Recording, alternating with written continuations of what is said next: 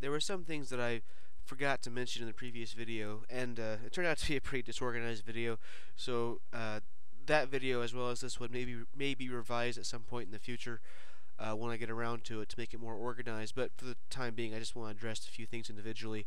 First of all, the square root function works in Octave and Freemat, uh, just SQRT, and the cube root function works.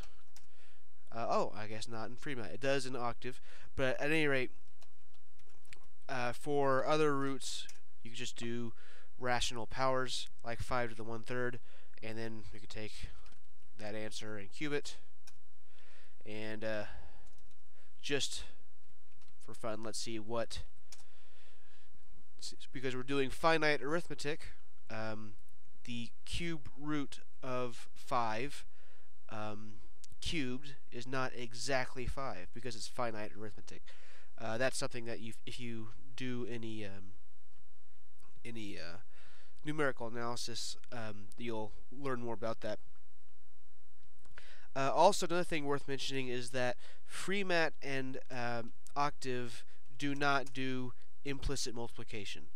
Uh, just like Maxima, if you have 4 and then parentheses 6, or this might do something weird, I don't know what that'll do. Okay, so what you want to do is 4, oops, not the end, times 6, like that, and that'll give you 24. So that's just something that's worth mentioning. Uh, now, the second thing that I want to talk about is that there's a, another kind of function that uh, I need to address, and that's the kind of function that results in more than one kind of output. Like, let's say a equals uh, 10 times a random, let's say 5 by 5, 5 by 5 matrix. And I said 10 times just because that gives us numbers between um, 0 and 10 instead of just 0 and 1. So, um, we if we want to do LU factorization of A, and we do just LUA, well, that only gives us L. But if we want to actually get all three parts, the lower part, upper part, and the permutation matrix, then we'll have to do LUP. So we're basically we're, we're defining LU and P. So some um, some functions will actually give you three different outputs. And to, if you have basically you have to know what function you're using. So if you're um, let's see if I could just basically pull it up on um, MATLAB's website. Uh, LU decomposition. So whenever you go to their website, MathWorks' website, to look at the code, they'll say, oh, there's actually a Q. I don't know what that Q is, but you could figure it out, I guess. Um, LUP, so lower matrix, upper matrix, and then the uh, uh, permutation matrix. So you have to basically know what function you're you're working with. And some of the functions you make can also have that. So to do the LU decomp of A, here's L, here's U, and here's the permutation matrix.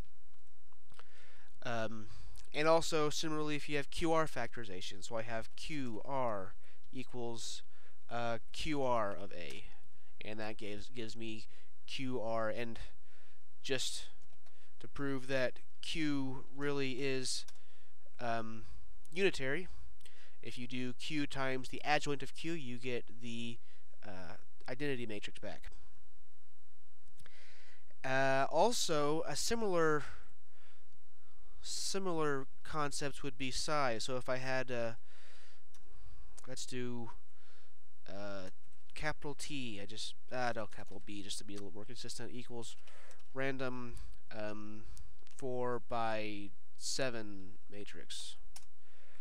So, um, if I wanted to do rows and columns equals size of B, that means R is now 4 and C is now so it's lowercase r as opposed to the uh, QR we have up here.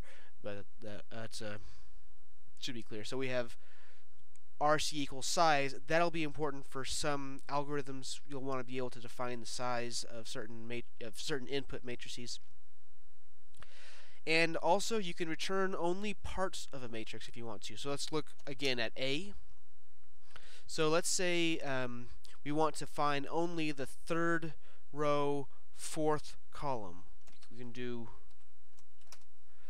third row, fourth column. You could basically use a as a function. So you could say this is like this is going to give you the third row, fourth column.